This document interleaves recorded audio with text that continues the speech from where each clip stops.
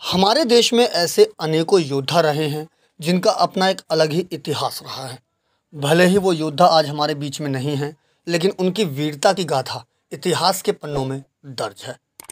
इन्हीं वीर योद्धाओं का संदेश जन जन तक पहुँचाने के लिए विभिन्न कार्यक्रम भी आयोजित किए जाते रहे हैं। इसी के मद्देनज़र दिल्ली के किराड़ी इलाके में भी वीर योद्धाओं में शुमार महानायक वीर लोरे की कथा को लेकर एक रंगारंग कार्यक्रम का आयोजन किया गया। पूर्व निगम पार्षद रामदयाल महतो की अध्यक्षता में आयोजित इस कार्यक्रम में भोजपुरी प्रसिद्ध गायिका देवी मुख्य तौर पर उपस्थित रही, जिन्होंने अपने सुरों के जादू से लोगों के बीच अपना जलवा बिखेरा और सभी झूमते नाचते नज़र आए। साथ ही इस मौके पर सुप्रीम कोर्ट के चर्चित वकील डॉक्टर ए पी सिंह भी उपस्थित हुए और उन्होंने भी वीर लॉरी के इतिहास को जन जन तक पहुँचाने के लिए हर स्तर पर कानूनी लड़ाई का भी साथ देने की बात कही। इस दौरान सभी लोगों ने महायोद्धा वीर लॉरी के इतिहास पर रोशनी डालने का प्रयास किया और कहा कि आज ज़रूरत है कि जन जन तक वीर लोरी की गाथा को पहुँचाया जाए। नायक वीर लोरी का इतिहास? बहुत बड़ा इतिहास है।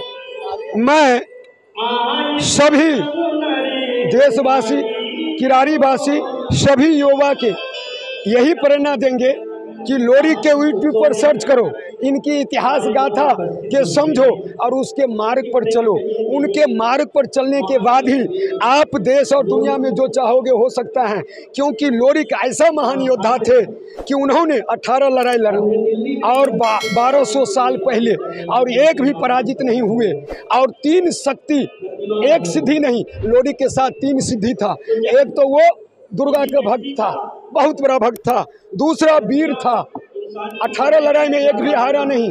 तीसरा, वो प्रेम के प्रतीक था कि उनका पत्नी चनमा ने कहा कि चट्टान को चीर दो। तो एक तलवार में बहुत विशाल चट्टान को चीर दिया और तीनों वर्तमान में इतिहास में मौजूद हैं। गौरिक जी थे, वो काफ़ी मतलब जिसको बोलेंगे बहुत बड़े योद्धा थे और काफ़ी वीर थे। उन्होंने बहुत सारे ऐसे कारनामे किए जिसे लोग याद करते हैं।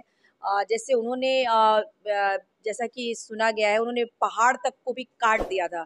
तो वो एक बहुत ही स्ट्रॉन्ग पर्सनैलिटी जिसको बोलेंगे और उनको, उनकी वीरता को लोग याद करते हैं और मैं भी अपनी तरफ़ से उनको बहुत चरण स्पर्श करना चाहूँगी और ऐसे वीर लोग हमारे भारत में पैदा हुए, उनका जन्म बलिया में हुआ और फिर उनकी जो वाइफ थी, उनका कनेक्शन बिहार से भी रहा था। तो ये काफ़ी प्राउड होता है कि जब हमारे तरफ़ के लोग इस तरह के लोगों को जो हम लोग देखते हैं तो काफ़ी प्रेरणा मिलती है।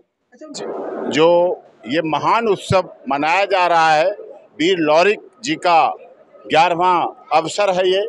और इतिहास हमारे देश का इतना महान रहा है, लेकिन पिछले सरकारों का कहें, इतिहासकारों का कहें, इतिहासकारों की गलतियाँ कहें, उनकी कमियाँ कहें, दबाव कहें, प्रभाव कहें, प्रेशर कहें, या अंग्रेजियत की मानसिकता कहें, हमारे इतिहास को दबाया गया, बदला गया। आज बड़ी खुशी की बात है यहाँ के माध्यम से मैं यही कहना चाहता हूँ, इस तरह के सांस्कृतिक कार्यक्रमों से हमारे समाज, जो किरारी विधानसभा क्षेत्र या बाहरी दिल्ली विधानसभा क्षेत्र उत्तर पश्चिमी संसदीय क्षेत्र का ये हिस्सा माना जाता है। कई लोग इसे पिछला कह देते हैं। लेकिन यहाँ ऐसे ऐतिहासिक और सामाजिक कार्यक्रम होते हैं, जो दिल्ली के अन्य भागों में भी नहीं होते हैं। वो लीग के फकीर हैं, लेकिन बहुत अच्छा रहा कि यहाँ से ऐसे इतिहास को निकाला जा रहा है।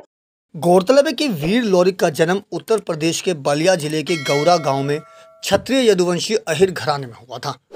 प्रेम के प्रतीक कहे जाने वाले वीर लोरिक योग माया माँ भवानी के बहुत बड़े भक्त थे और उन्हें स्वयं माँ का आशीर्वाद प्राप्त था। आपको बता दें कि उत्तर प्रदेश के मारकुंडी पहाड़ियों पर सोनभद्र से लगभग पाँच किलोमीटर दूर लोरिक और मंजरी के प्रेम और शौर्य का प्रतीक पत्थर, जो स्थानीय लोकगीत लोरिकी के मुख्य पात्र हैं। ऐसी मान्यता है कि वीर लोरिक अपने प्रेम मंजरी के कहने पर एक चिन्ह के तौर पर अपने तलवार से एक ही झटके में एक बड़ी सी चट्टान को काट दिया था और उसको पार करके वह आगे निकल गए, जिसे आज वीर लोरिक पत्थर के नाम से भी जाना जाता है। दिल्ली से अपने सहयोगी दीपक ठाकुर के साथ अजीत कुमार की रिपोर्ट हम वतन टीवी।